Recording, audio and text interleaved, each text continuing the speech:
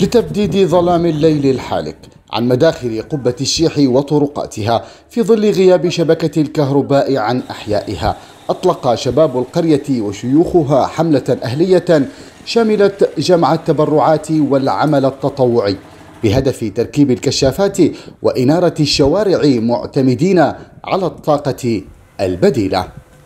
لما بنروح على صلاة العشاء فبنروح بكل سهولة.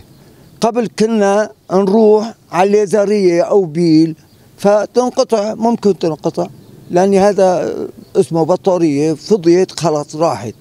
بينما هلأ صرنا نروح بالرياحة وبنرجع بالرياحة فوق هالشيهات ركبنا كاميرات بكل الشوارع الرئيسية مشان الحرامية.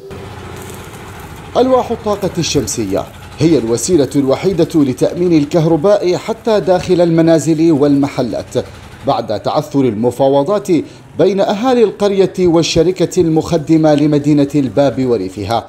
بسبب شروط فرضها ممثلو الشركة ووصفها الأهالي بالمجحفة. بعد نقاش وجدال طويل مع شركة الكهرباء حطوا لنا رسم الاشتراك تبع العداد لكل بيت الواحد 180 دولار.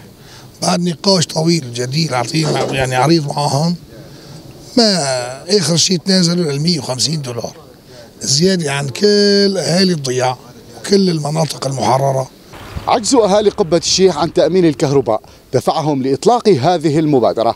علها قد تكون بمثابة حل مؤقت. تنير طريق المارة ليلا.